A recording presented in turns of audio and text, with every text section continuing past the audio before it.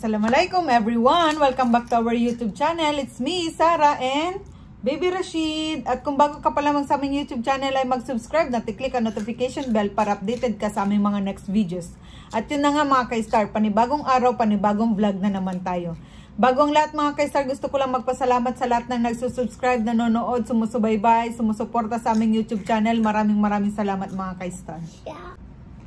Bago ang lahat mga ka-star, gusto ko lang kayong batiin ng Happy Valentine's bago man lang matapos ang buwan ng mga pag-ibig. At dahil dyan mga ka-star, pag-uusapan natin yung nag-message sa akin, hinaantay niya na patapos na daw ang buwan, wala daw ba akong upload sa binigay ng asawa ko nung Valentine's, ganyan mga ka-star. So, sabi ko sa kanya, ano, ah, eto na nga. sabi ko sa kanya, wala kaming Valentine's. Sabi ko sa kanya, hindi kami nagsiselebrate ng Valentine's. At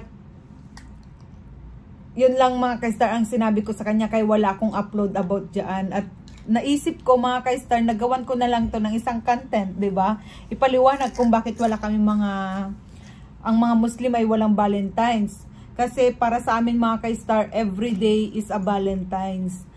Kailangan mong iparamdam sa minamahal mo, sa asawa mo, sa partner mo, na mahal mo siya araw-araw, hindi lang sa iisang araw. Kasi um, mas mas maganda yun mga ka-star na araw-araw mong iparamdam, ipakita sa sa asawa mo na uh, mahal mo siya, hindi lang sa iisang araw. Ganon kasi sa amin mga ka-star. Natanong ko na sa kanya yan dati mga ka-star nung mga unang taon namin mga ka-star. Di mo man lang ako binati ng Happy Valentine's, ganyan. Tapos sabi niya, bakit bakit kita babatiin ng isang araw lang. Pinaparamdam ko naman sa iyo araw-araw na mahal kita. Ganyan mga ka-star yung asawa ko. Kaya choosy pa ba ako eh nararamdaman ko naman na araw-araw. Tsaka nag-ano pa siya kung may flowers ba ako, ganyan. Di naman ako mahilig sa mga flowers, flowers na ganyan mga ka-star. Okay na sa akin yung isang kabang bigas.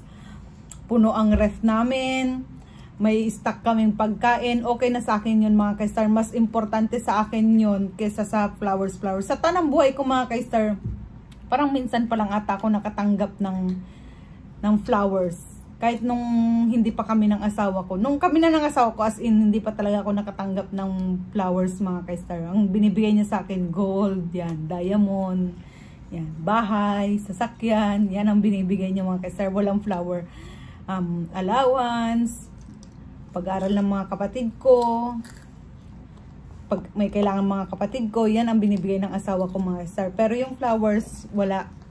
Hindi niya ako binibigyan mga star. Parang minsan pa lang ako nakatanggap ng flowers noon. Nasa Pinas pa ako, pero hindi fresh flowers. Plastic na flowers. so, yan mga kastar. Tsaka, wala naman na sa akin yan. Mas gusto ko nga talaga yung ganyan, maging practical na bigas, yan.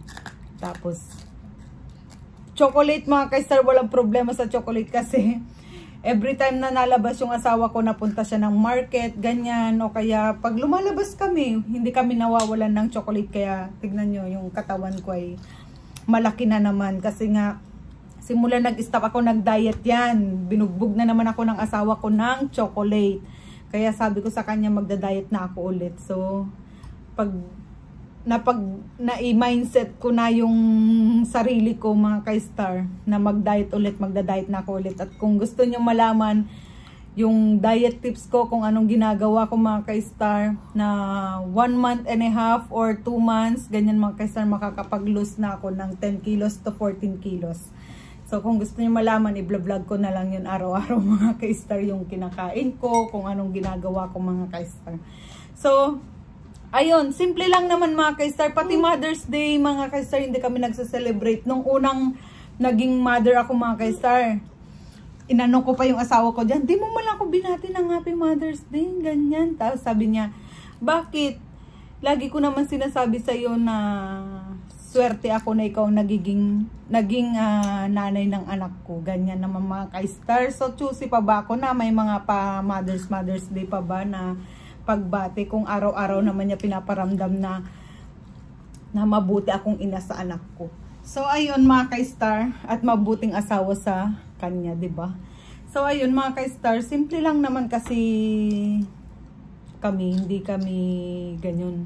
Yung kahit simpleng celebration lang sana ganyan pero hindi iniisip yun ng asawa ko. Mas iniisip niya na mas may paparamdam niya sa amin yung pagmamahal niya. Ganyan mga ka-star. So wala talaga kaming valentines wala kaming Mother's Day, wala kaming Father's Day. Pero pag Father's Day mga ka-star, binabati ko siya. Binabati ko siya ng Father's Day. Ganyan, pero siya hindi ako binabati mga ka-star. pero okay lang naman sa akin, naintindihan ko naman kasi as a Muslim, ano lang naman kasi yung celebration namin, Eid lang mga ka-star. So, dun lang dapat kami magsaya, mag ano, mga ka-star. Tapos meron na naman magme-message diyan o kaya kung maisipan niya mang mag-comment ganyan mga ka-star, baka sabihin niya na ano lang naman ba yung batiin kanya ganyan. Pero nararamdaman ko naman kasi mga ka-star na mahalaga kami sa asawa ko, mahal niya kami kaya okay na sa amin yun. Basta busog ang tiyan. Kesa naman mag-celebrate kami ng isang araw ng napakabongga pero kinabukasan wala kaming kakainin. Ay wag na lang mga ka-star, ba? So, para sa inyo mga ka-star, happy Valentine's sa inyo. At uh, sana'y uh, magampanan ng mga asawa nyo, ng mga partner nyo na may paramdam niya araw-araw ang pagmamahal niya sa inyo mga ka-star. Sa aming mga ka-star, sa aming mag-asawa, Basta wag lang niya akong bugbugin. Wag lang dumapo yung kamay niya sa akin. Paggalit siya, ganyan. Pero sa awa ng Diyos mga kasar, matagal na naman kaming dinag-away ng asawa ko. kaya, kaya yun mga ka-star. Basta yun ang usapan kasi namin mga ka-star. Na mahalin niya, niya ako, mahal, mahalin namin ang isa't isa. Wag, niya, wag kami magkasakitan. Kasi pag once na nangyari yun, maghihiwalay kami. Wala nang second second chance. Basta pag dumapo ang kamay niya sa akin, pag galit siya, nasampal niya ako, nabugbog niya ako, kung ano-ano, hiwalayin ko siya. Kasi yun ang usapan namin noong bago kami kinasal at nung kinasal kami. Yun ang pangako namin sa isa't isa mga ka-star. So, ayun, mga ka-star, sa amin, masaya na kami sa ganito na everyday ang Valentine's namin, everyday ang Mother's Day namin, everyday ang Father's Day namin. Ganyan mga ka-star. Hindi na ako humihiling pa ng iba sa asawa ko kasi wala naman na akong dapat hilingin pa. Kasi halos nasa akin na ang lahat. nasa akin na mga ka-star. Niisip ko pa kung ano pa bang dapat naming gusto ko sa buhay na ano. Pero wala naman akong maisip mga ka-star. Naisip ko lang ay patuloy niya akong suportahan sa pag-YouTube ko. Tapos, uh, makatulong kami sa iba pag naging successful ito. ba mga kaistar? Kasi ito mga kaistar, yung sa ano namin pala sa zakat namin pinaghandaan na ng asawa ko. Hindi ko alam kung kung magbibigay siya sa Pilipinas o sa Bangladesh lahat mga kaistar. Kasi iniisip ko kung doon sa Bangladesh gusto ko sana na ano na wag perang ibigay sa kanila kung pwedeng ano um, bigas, ganyan, coffee, sugar, ganun mga kaisar. Pero sabi ng asawa ko, wala kasing bibili sa market ng madamihan na ganun. Kaya mas magandang pera na lang daw ibigay at sila na lang ang bumili para sa sarili nila. So, ayun mga kaisar, update ko update ko kayo kung